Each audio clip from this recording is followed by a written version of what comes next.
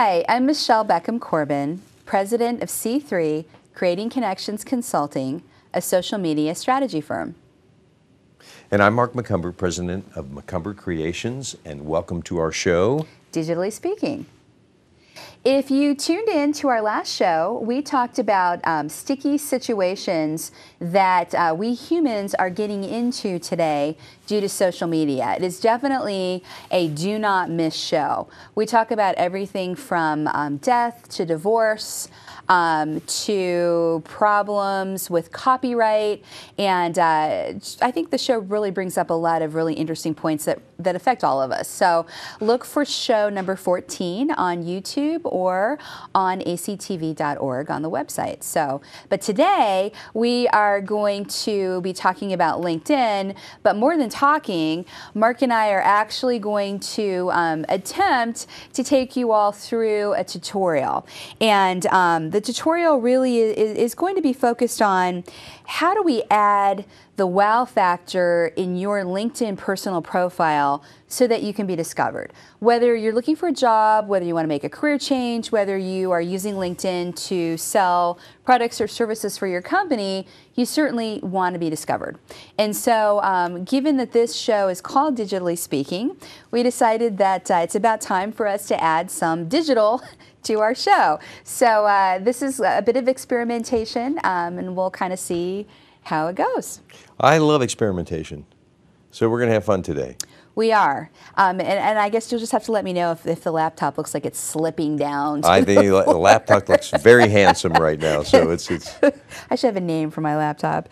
Oh, gosh. But anyway, um, what I wanted to start off with is just a little bit about LinkedIn um, for folks that, that really don't know or, um, you know, have heard of it, are not using it, and therefore don't realize how mm-hmm. huge um, it really is.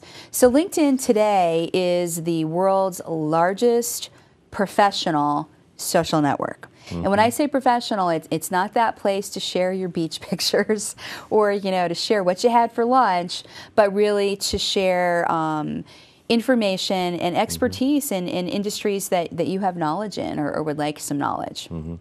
And um, LinkedIn has made um, remarkable changes over the last several years as far as its formatting and its platform, um, and is now, as you say, taken certainly the lead to some degree in, in even from Facebook, where folks have really realized that um, LinkedIn has really been the professional connection preferred platform. Oh, so absolutely. It's it's now um, even though it's it's replicated some of Facebook's algorithms to some degree and taken on some of the looks that, that Facebook has in the way it functions, um, it still is, is a great um, way to network B2B with, with professionals. So. Absolutely. And for those of you who may not um, understand, when Mark is saying that it's taken on some of Facebook's functionality, just like on Facebook where we can like um, a statement or share something, um, you can do that on LinkedIn as well. So that's where, where those pieces come in. Now, when we talk about LinkedIn, um, what we're talking about is um, a platform that's used by over 225 million people across the world. And uh, in terms of executives, every single Fortune 500 company has an executive presence on LinkedIn, an actual personal profile. And um, LinkedIn, in addition to personal profiles, can have company pages, mm-hmm. as, as you know, Mark. Mm-hmm. And right now, there are over um, 3 million companies that have organizational pages. There are groups that you can join as well. I don't know, are you involved in any groups with a music couple. or yeah, more towards your business? Yeah. Or I guess uh, music is your business too, but. Yeah, some little network groups. Um, uh, just been kind of monitoring them as how, how they function. I'm not super active with them, but I do belong to a couple of them. And um, they're pretty interesting. You do get to see others in your in your area. Um, I haven't used LinkedIn so much as I've used some other forums for, for things such as that, but uh, LinkedIn certainly has a lot of groups. There's no doubt about it. Well, and forum is a key word because if you are involved or, or belong to a group that's that's fairly active, mm-hmm. it really is like a traditional online forum. Mm-hmm. You've got people that are sharing, um, you know, links to articles, sharing sure. ideas, getting into conversations. Mm-hmm. So um, it's a great a great way to not only network, and you can be a stealth person. You can kind of fly under the radar and, and just use it as a great uh, place to gather information that will help you. Absolutely. Um, so, yeah, the, the beautiful thing about LinkedIn is it gives you control over your own profile. You control what LinkedIn has to say about you, and that's what we're going to talk about today. Again, how to how to get that wow factor um, into your profile. So when you're on LinkedIn, um, you can see two views initially: the home view and um, the profile view. So I wanted to talk a little bit about the home view. I think if you're not really super familiar with LinkedIn, you should really set aside a good 15 or 20 minutes and take the time to see all of the information that is housed um, within those spaces. So for example, um, whether you're in home or profile, you're going to see um, a toolbar across the screen that will refer to home, profile, network, jobs, interests, etc. And under each one of those pieces, there will be a drop down menu with some additional choices. So you really want to familiarize yourself with that. Um, if you look at the top right, there are some icons. There's an envelope icon, um, there's a flag, there is a, a, ghost figure, and then your own picture. And uh, the first is for mail. The flag is just notification, similar to Facebook, to let you know that somebody has interacted with you in some way. And um, the little ghost figure is a way to um, add contacts. And then the very far right, the little teeny picture of yourself. And if there isn't a picture there, that's a major problem, which we're going to talk about in a little while. So Mark and I mentioned before, uh, Mark's not a fan of ghost people, and companies aren't either. No, it's always nice to know who you're doing business with, you know. Yeah, so where that little picture is, that is where your settings are. There's a drop-down menu there, and you're able to, to get to um, settings and, and, you're able to optimize them. So I just wanted to point out a couple of key places on the home screen. Um, the first is you're going to see where the green check mark is, a um, tool, kind of a, a, space, and that's where you can share an update. And you can add a file, add a photo, add a link, anything that you want to share with your network um, or share publicly. Here's a little hint. Um, if the content really is for public consumption, I would choose public all of the time because it just gets your information into the eyes of, of, of a larger audience. Um, the other piece that I want to show um, towards the right column in the middle is the section that says your LinkedIn network. And that is where LinkedIn will let you know the number of connections that you have um, and how many people um, have, have recently joined your network um, in recent days. So then moving forward into the profile view, um, there are some places where LinkedIn's algorithm is in play. So there's a section that says people you may know, mm-hmm. and you'll see, you know, a couple of uh, faces. And again, unless you've got some of those ghost people, mm-hmm. and LinkedIn kind of does runs its algorithm, and it determines from people that you are already connected to and who they may be connected to, as well as some other things who you are most likely to know. Mm-hmm. And so you have that ability to look at those folks and say, wow, LinkedIn is just unbelievable. I, I know every single one of these people. Mm-hmm. Um, or, you know, other folks you may say that was a stretch. But you have an opportunity to take a look at that. The other thing that you can find out is um, who has viewed your profile mm-hmm. and um, what kind of reach your updates have. So when you take the time to share an update, whether it's your own thoughts or an article with your personal spin mm-hmm. on it, LinkedIn will let you know how many people viewed your post, how many people liked it, how many people shared, how many people commented. What LinkedIn is looking for is engagement. Mm-hmm. They're looking for people who are active on the profile and are not using it as a place to just house their resume information. Mm-hmm. And so you may be thinking, well, you know, why do I need to be active? Well, number one, and I don't mean you, Mark, because I know mm-hmm. you know the answer to this, but for the viewing audience, um, when you are active, you are showing that activity to your network, number one. So people are seeing your name pop up. Number two, when you are active, that activity level is factoring into LinkedIn's algorithm mm-hmm. so that if somebody were searching for someone, let's say, um, you know, social media marketing specialist, someone who had been very active and doing a lot of sharing would come up higher in the search results than someone who wasn't active on LinkedIn at all. Mm-hmm. So that's just kind of an, an important piece. So what I wanted to do was kind of start off with the box that we see on a profile. To me, it looks like the old Rolodex cards. Mm-hmm. Remember those days of, of Rolodex cards? Yes.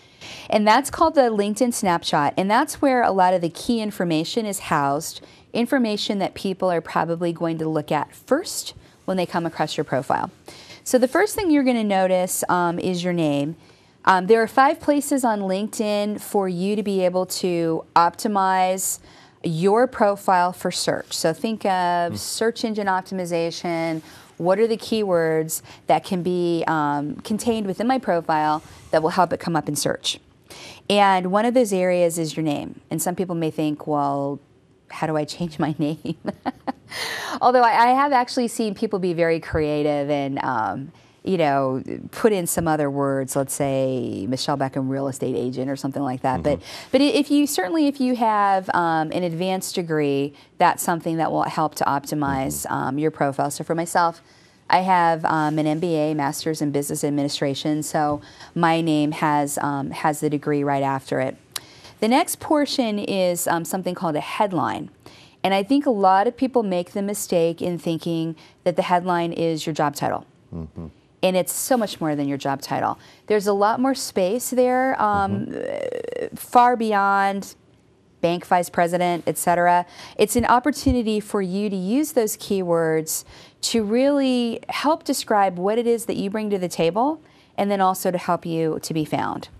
So, Mark, I haven't looked at yours. Um, I know I don't think you've got yours pulled up. Do you recall what whether you have pulled in all of the aspects of, of your background, kind of the music and the design together, or are you using a job title kind of piece or? Currently, I'm looking looking on, on my iPad, which gives me a different view than my computer. Uh, oddly enough, it doesn't. It's not the same format for some reason when I when I come up on my iPad. But um, I, I've I've used that, and I actually took your uh, advice some time ago and changed quite a bit of that so that it did it, it did give a better history of, of because I've done quite a few things professionally and um, it gave a broader range rather than just kind of listing oh you know skills per se I've kind of listed them so they can really say oh this guy's done this this this this this and he's Does the full got a story. pretty broad range um, amount of experience and variety of different things but um, yeah, but there's an art form to this. I there mean, there, re- there really is an art form to this, and sculpting your LinkedIn profile probably a lot more. Of course, it's, it's a professionally based platform, um, so much more critical and important to um, this as it would be to Facebook or, or even to some degree your website, because I think um, even though websites are websites are taking such a secondary level sometimes to, as a, from individual standpoints, um, maybe not a big business or a corporation, but from individuals, because LinkedIn is really, really becoming you know the place to find out about somebody professionally and career wise. Oh, yeah. So um, there's so much flexibility within the new LinkedIn look of what you can do to make sure you're getting your message out about who you are and what you do. Absolutely, and you're right. I think today LinkedIn almost looks like a mini website yeah. because you have the ability um, to not only share what your uh, work experience is, mm-hmm. but to add content to that, and, and we'll show um, show have some screenshots of that for everyone. But you have the ability to um, share video, mm-hmm. share photographs share portfolios mm-hmm. of work, yep. um, Word documents. I mean, you name it. If you have anything that really kind of gives evidence or, or credence to mm-hmm. to the work that you've done, mm-hmm. to be able to see visually, then you can add that to LinkedIn. So, um, so moving forward, um, the name and the headline are, are two places that you can optimize your profile for search. So, for example, um, mine, and I'll just read it, it doesn't just have my job title, it says Strategic Social Media Marketing, Speaker, Trainer, P&G alum, owner C3 Creating Connections Consulting, a social media firm. So there's a lot of information packed um, in, in that profile, and, um, and then I can be discovered for any any of those uh, those items that I've listed. The next piece that's very important, um, not only to search engine optimization, but in telling your story, is the summary statement. And this is a mistake I see a lot of people um, having. They neglect to add the summary statement to their profile. Mm-hmm. And to me, that's just crazy. That is your marketing vehicle. I believe it's 2,000 characters um, that LinkedIn gives you to tell what you're all about. You know, for you, we, we just mentioned mm-hmm. that you've got so many different aspects mm-hmm. to the work that you do, and it, your creative side, and building, and designing, and, and music, and that's a great place to be able to pull all of that together and share with the world why someone would should do business with you because mm-hmm. of what you bring to the table. Mm-hmm. So um, I actually recently redid mine. Mm-hmm. Um, I hadn't changed mine for years just because I'm so busy helping everyone everyone else changed theirs.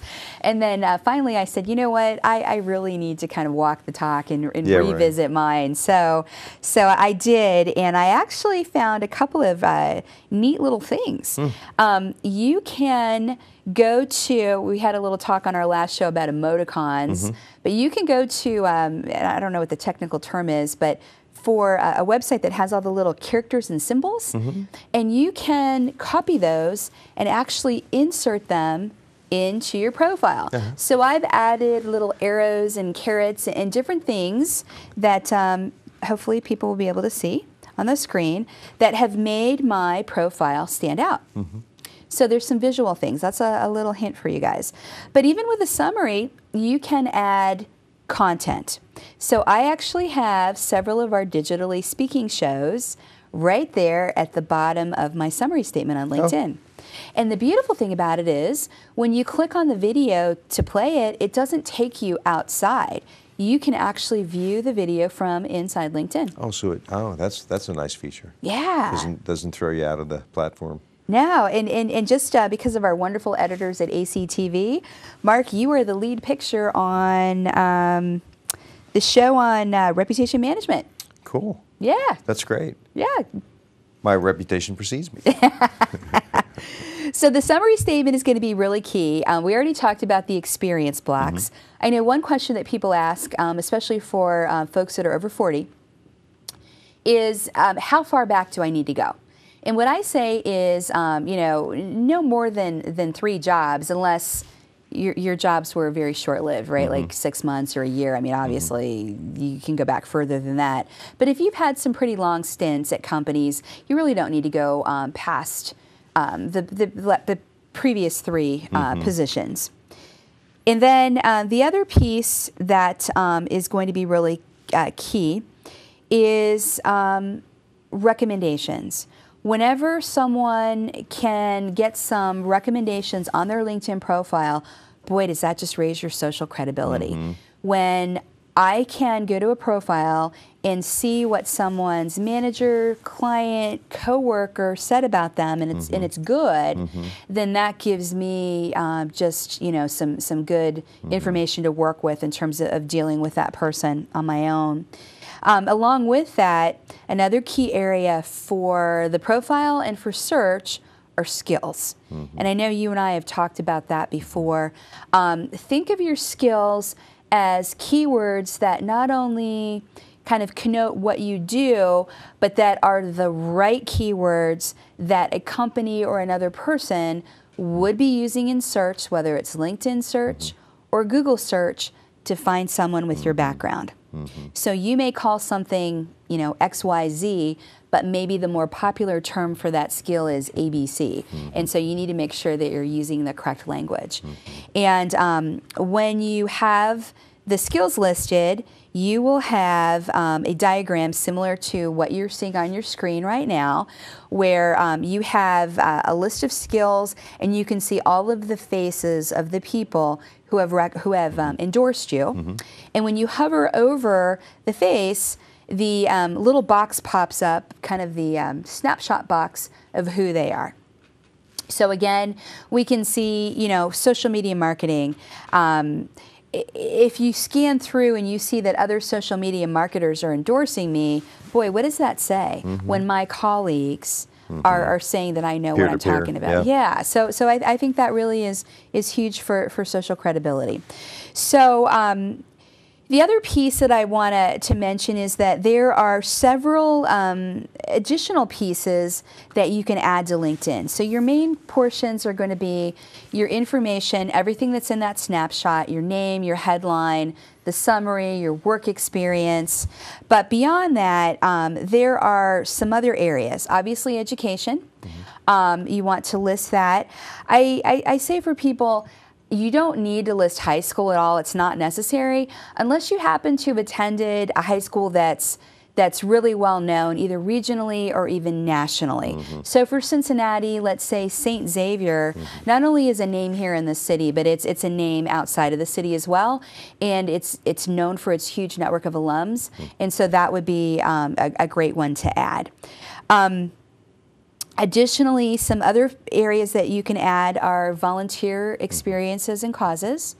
And so, if you're very involved in um, one of those, you can add that in, talk about your role, add, add photos from it, etc. Um, any honors and awards that you might have received, um, certifications, which I would imagine in, in your business with design and building, you probably have, uh, have Lots some of certifications. ability for that, absolutely.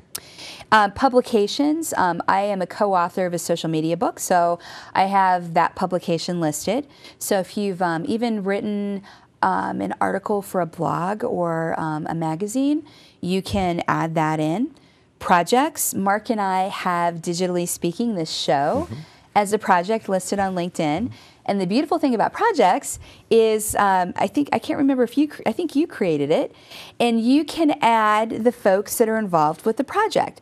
So if you're on my LinkedIn and you're looking at the project, you see Mark's face right there, and you can see that he is part of the project. Um, any languages that you speak, um, especially for those um, high profile languages that are always really in need, um, that would be great for companies to know that you have that ability. Any patents that um, you've created, um, any additional uh, information that you want to share, any interests that you have. And then another piece that people kind of forget there's a section called advice for contacting. And you may think, well, what's that all about? There's a contact section that when you click on it, it gives you my phone number, my you know website, email address if I've put it there. But LinkedIn gives you a little box where you can, in your own words, share with people how you would like to best connect. Mm-hmm. Whether it's um, a message saying, I prefer to receive emails only, whether you're a business and you want to take that time to say, we're really recruiting for sales folks, contact at, us at this number during the month of July mm-hmm. to get an interview. I mean, whatever it is, you have that mm-hmm. opportunity to share share that information with people. And it's it's changeable. So Yes. Situations change. Yeah. This week I can only be reached here. So. That, that's right. You can go in and, and make changes to your profile um, absolutely at any time. But those are the key elements that you want to take a look at um, for LinkedIn. And if, if you really work on all of those pieces, um, you truly will see that you'll, um, your profile will come up more often in search and more people will be looking at your profile. And hopefully your connections will, will, will rise. One of the cool things I think it's interesting about um, LinkedIn and, and, and different from websites, and something that maybe standardizes um, things a bit and puts it into a template that that um, is really comprehensive. Um, you know, people get creative with websites, and a lot of the thing about websites is that you can be really artistic with them. You can do a lot of different things with them. But the thing that's nice about this, to some degree, is that that it standardizes things into a template that everybody reads, gets used to really easy, and there's something to that systematized um, template, if you will. I know folks that aren't even doing websites anymore that are saying, "I get everything I need." Right on, on between LinkedIn and maybe Facebook and between that and my tweet account. And I don't, I don't even need to maintain that. These are smaller businesses or Right. individuals, uh, mind you, and not big corporations or someone that has a huge message and mission to get out that they need a full blown website to do it.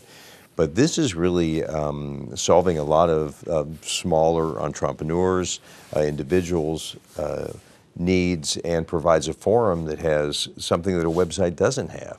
and that is that social network connection where you have access to all of these people and choice over it as opposed to trying to drive someone to a website whether you need them that you either have to find and figure out a way to capture somebody's email that you can send to them to get them hooked up to your website or get somebody to follow you on your website this is, is a really viable option to that.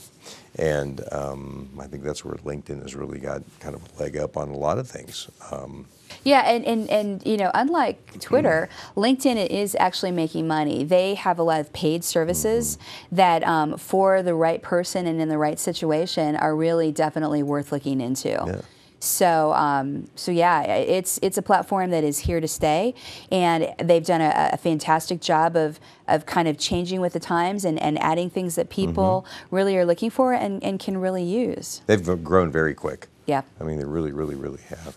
And um, gives you, again, just another way to get into the social media um, to some degree. I know folks who say, well, I don't mess with Facebook at all. I just use LinkedIn exclusively. Right. Because I really just want my, it's Professional. professional. Right. So, um, what a what a great uh, what a great mechanism for people to professionally get get the word out about themselves and about their businesses, and is morphing and changing.